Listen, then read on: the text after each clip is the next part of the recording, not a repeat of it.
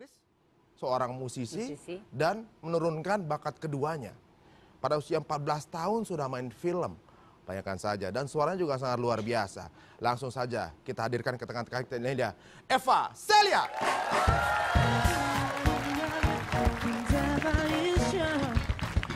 You feel this sweet love,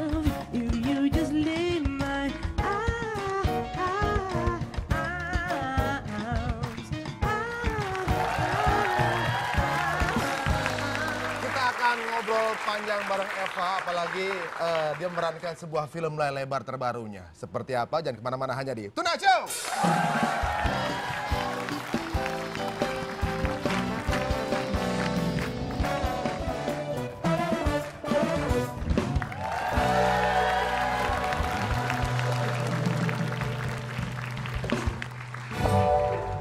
Ya, setelah eh, pergi beberapa tahun pindah ke Amerika, sekarang sudah bukan anak remaja lagi. Eva sudah beranjak dewasa, tapi penampilannya masih remaja ya. Ini kayak petua-petua itu ya. Petua- Sana udah tua. Berapa tahun di sana? Em, empat, empat, empat atau lima tahun ya? Empat ya? Empat tahun kayaknya. Empat tahunan, empat tahunan. Di sana lebih kan ini kan nyokap pemain apa banyak kan di film, bokap di musik. Di sana ketika di Amerika sana teman-temannya banyak kan lingkungan apa?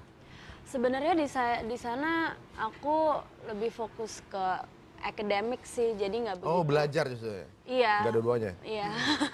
Tapi waktu kemarin kan sempat juga eh, pada lihat apa namanya di YouTube bagaimana kolaborasi via Skype.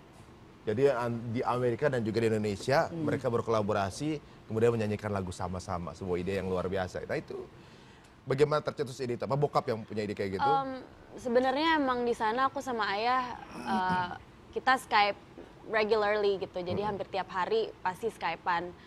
Eh, dan waktu itu ayah iseng-iseng pengen coba, eh coba dong eh, nyanyi yuk via Skype gitu. Aku bilang gimana caranya kan koneksinya juga eh, it's not that good juga sebenarnya kan. Tapi em, iya jadi sebenarnya nggak direncanain, itu kita cuma iseng-iseng rekam, terus ayah tiba-tiba dua minggu kemudian bilang kita post aja yuk di YouTube. Terus saya said ya why not? Gitu deh. Wah, akhirnya hasilnya luar biasa karena di situ baru ketahuan bahwa nafas jazznya kental, juga Kental ternyata Eva. banget. Heeh. Malahan sekarang lebih kayaknya eh, kalau kesannya gitu ya, kalau di media massa dan lain-lain, Eva Celia itu kayaknya lebih fokusnya ke dunia musik dibandingkan acting. Apa mungkin dua-duanya sekarang pengen digelutin? Em, ya menurut aku kalau misalnya bisa ngelakuin dua-duanya eh, dengan baik, kenapa enggak? Gitu. Aku aku nggak mau em, limit myself. Em, jadi ya kalau misalnya acting lancar, nyanyi lancar, then why not do both? Yo gitu, jalan dua-duanya beriringan, nggak ada yang eh, apa namanya saling menjatuhkan gitu iya. ya. heeh. Nah, kalau yang sudah ngelihat bagaimana Eva bernyanyi, pasti langsung punya apa namanya punya eh, pandangan nih kan Eva tone-nya ini jazzy banget. Suka nyanyi dan kenapa pilihnya jazz? Em, mungkin karena aku dibesarin dengerin musik-musik jazz. Cuman ayah juga sebenarnya nggak. eh, ayah justru ngasih kebebasan untuk aku explore jenis-jenis musik lain, which is really nice. Dan sebenarnya sekarang em, aku lebih settle di R&B soul. Sekarang Kayak udah R&B udah, malah. udah ya? mengalir di, di darahnya itu. udah mengalir di darahnya. Kalau saya jadi anaknya Beyonce juga udah, ih suaranya udah Kalau keren jadi banget. anaknya, Kalau jadi lu anaknya. bukan anaknya Beyonce, lu anaknya Bi Ija. Jadi memang eh, darah seni sudah mengalir darah Eva. Jadi ibaratnya kalau Eva pluk, keluar darah, Hmm. Keluar darah nyanyi. not, nada semua do re mi gitu ya. Not balok. Untuk membuktikan atau juga mungkin mengetahui bagaimana talent bakat dari eh, si Eva sendiri, mungkin Hesti punya sesuatu yang akan diberikan. Nah kita ada tayangan uh, video Eva Celia sedang bernyanyi. Kita lihat, yuk. Oh my god. Room before you came. Excuse the mess you made. Usually doesn't rain in Southern California, much like Arizona. My eyes don't shed tears before they fall when I'm thinking about you. You know, don't know. I've been thinking about you. You know, no, know. I've been thinking about you. Do you think about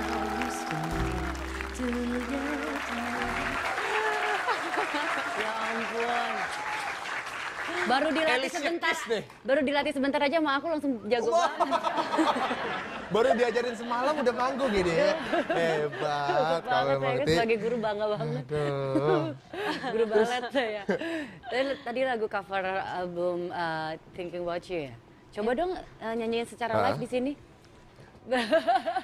Aku tuh sebenarnya paling anti disuruh kayak nyanyi on the spot gitu. Aku se- am- sebenarnya aku tuh pemalu banget orang. Ya udah boleh kok di bawah uh, meja kali ya. Wah ini serius. Serius? Serius, serius. Oke Dua, deh. tiga. A tornado flew around my room before you came. Excuse the mess you made. It usually doesn't rain in Southern California, much like Arizona. My eyes don't shed tears, but boy, they ball when I'm thinking about you. You know, no, no. Udah deh segitu aja. Itu bukan cuma bisa lagi, itu mah bisa banget ya. Oke, kalau gitu sekarang kita akan eh, bikin permainan untuk apa sih? Uh, kita ada celeb challenge. Ya. Jadi kita sudah persiapkan sekitar 120 pertanyaan pilihan ganda, 50 esai, pensil 2B sama penghapusnya sudah disiapkan ya, Ya. sudah diraut dan sesuai dengan SNI. Ya, helm kali. Kita Nggak, tes apakah pengetahuan musiknya benar-benar seperti. Iya, kalau ini yang em, masih mengenai musik, cuman yang terdekat dengan Eva. Ya, Tebak lagu. oke. Oke. Tebak lagu ya. Untuk lagu yang pertama, silakan my own.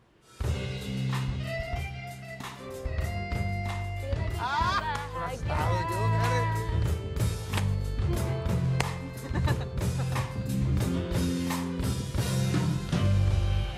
Sebelum dijawab, kalau dia sampai nggak tahu judul lagunya, dia termasuk anak durhaka. Sorry, emang saya mau nanya judul lagunya. Eh bukan ya? Siapa yang ngepel lantai ketika video klip itu dibuat? Gak ada adegan sampai lantai. Lagu siapa? Dunia boleh tertawa. Itu dia boleh Lalu tertawa. Dan DJ. Siapa? Siapa? Indra Lesmana dan Titi DJ. Oh, Indra Lesmana di Eh, bapaknya, Bapak nyebutnya ya. Betul. Betul. Satu lalat ya, satu lalat Ya. ya. Satu lalat ya. Lagu yang kedua, silakan Mayo.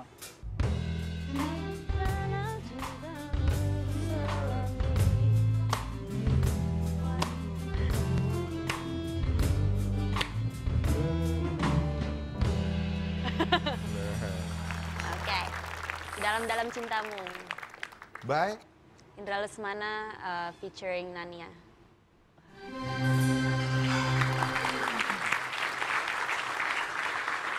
Bentar. Dua lagu tadi Indra Lesmana. Bisa nggak nyanyi lagu Indra Herlambang? Gak ada. Oh, ada ya? Kan berhubungan sama keluarga Oh, iya, ya. iya, iya, iya, iya. Oke, Oh, lagi. Indra Herlambang. Indra Bekti ada nggak? Ada lagi? Ada lagi. Ada Lagu lagi. yang berikutnya. Yang ketiga, silakan Mayon.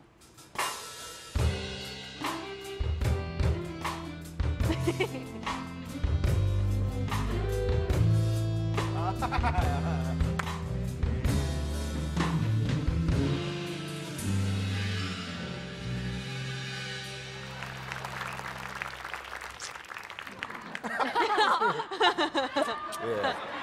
Uh, ini judulnya Kangen yang dinyanyikan ulang oleh Krisye dan Mama. Oh iya iya iya. Dia taunya versi versi orang tuanya aja. Enggak, aku kan aku bilang dinyanyikan ulang. Oh Iya, iya. iya kan ulang. Jelas jelas ngasih taunya. Lagu kangen dinyanyikan Dinyanyikan ulang, ulang. oleh Krisya dan Mama. Ada lagi atau udah cukup? Satu lagi. Ini sesuai. Gampang. Iya,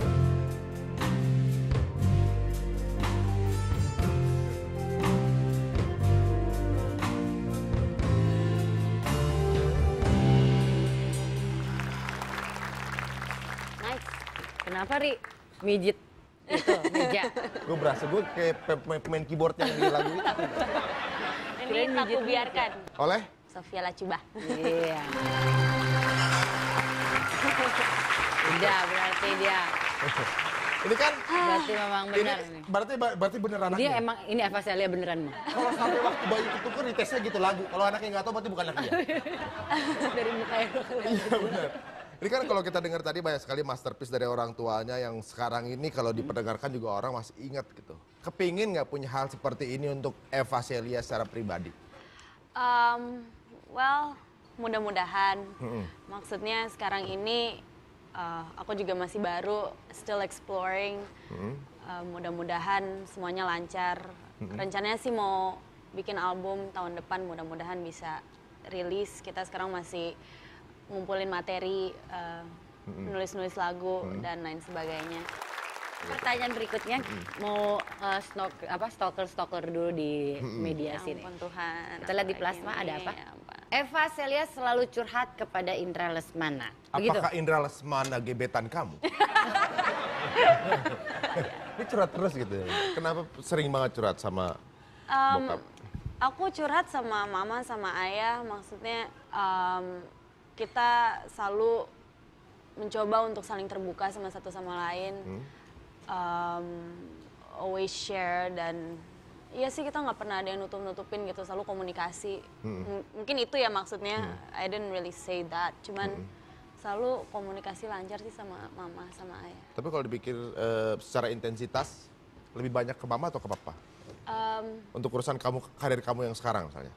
Dua-duanya sih, em, mungkin kalau masalah film aku lebih ke mama, masalah musik lebih ke ayah. Cuman em, selalu minta bimbingan dari ayah sama mama. Probably the same ini. Iya, pokoknya pe- perimbangannya sama. Nggak milih antara mama atau papa, Iya. dua-duanya juga berpengaruh, impact yang bagus untuk karirnya Eva. Nah berikutnya juga masih ada berita juga ya. Coba yang kita lihat berita selanjutnya dari eh, Eva. Cantiknya Sofia Lacuba dan Eva Celia. Jadi beberapa ini sering banget kalau di media di samping-sampingin fotonya Eva, makin lama makin mirip banget sama mamanya. Sering-sering banget dibanding-bandingin. Merasa risih atau malah, malah senang banget kayak gitu? Em, ya bangga lah. I mean she's beautiful, jadi eh, em, sangat flattered. Dengan mama, apalagi mama dulu kan dari zaman dari belasan tahun kalau nggak salah udah main film ya waktu itu ya. Iya. Nah, mama udah belasan. Waktu tahu, tapi waktu itu kan mama berawal dari model ya. Kamu ada keinginan nggak? Ini satu kan bidang bidang kamu yang kan musik dan film. Ingin masuk ke model juga nggak? Untuk sekarang ini em, fokus aku lebih ke musik sama film ya belum kepikiran untuk ke sana. But kalau misalnya ada sesuatu yang menarik dan em, and- dan bagus, kenapa enggak gitu? Mungkin Aku- nanti berlanjut kayak di bidang kayak sulap mungkin. Makin jauh aja. Itu biar banyak. Benar, makin banyak itu karirnya. Tapi bicara mengenai karir, di akhir bulan ini rencananya film dari Eva Yes. akan eh, launching ya. Iya. Boleh ceritain ke masyarakat nggak? Kamu di sini ini eh, akan jadi orang kalau lihat Eva ini kan akan berbeda sekali karena kan Eva eh, acting dan berperan sebagai orang yang bagaimana biar orang lebih penasaran. Oke, jadi ini filmnya judulnya Adriana yang disutradarai oleh uh, Mas Fajar Nugros dan uh, diproduserin oleh uh, Mama. Ceritanya sih sebenarnya drama percintaan, tapi um, dengan nuansa petualangan um, di Jakarta. Ada ada sejarah Jakarta lah. Dan aku di sini memerankan Adriana, um, seorang perempuan yang um, sebenarnya misterius gitu throughout the whole movie. Uh, pintar, suka sejarah.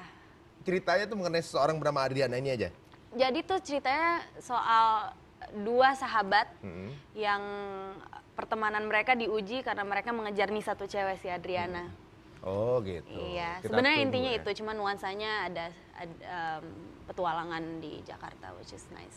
Sepertinya ini akan menjadi sesuatu yang bikin orang penasaran. Setelah nyanyinya kita udah dengar, actingnya perlu diuji di film ini. Berarti sebentar lagi yang udah udah uh, penasaran akan tahu actingnya, tanggal 30 Uh, 31, 31. premiernya, cuman serentak di bioskop tanggal 7 November. Oke, kita So, tungguin ya. tepuk tangan buat Eva. Mudah-mudahan Adriana sukses, Thank musiknya you. juga sukses. Thank you. Dan eh, ini adalah suatu contoh bagaimana keakraban so- a- anak dan juga dengan orang tua, bagaimana karir juga berimbas dari darah orang tuanya juga. Itu mengalir sangat luar biasa kepada seorang anak. Nah, berikutnya kita juga akan mengulas hal tersebut. Bagaimana seorang berprofesi menjadi seseorang ini berasal dari pohonnya. Seperti apa? Jangan ke mana-mana. Hanya di Tonight Show.